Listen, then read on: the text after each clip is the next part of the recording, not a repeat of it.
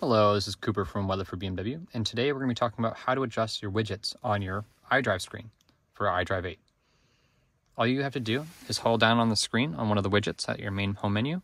If you're not at the home menu, for example, if you're in any part of the menu, you can actually just click Home, brings you to the widgets.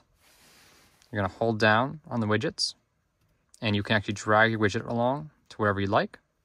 If you want to remove a widget, you can click the little X right next to it.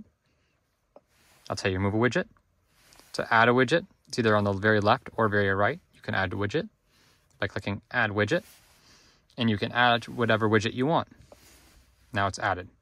You can drag it to whatever you like. After you're done, you can click this little arrow on the side, and then you're done. Now you have your maps and your My BMW whatever widgets you want to be on your main home menu. Again, this is Cooper from Weatherford BMW. I hope you have a wonderful rest of your day.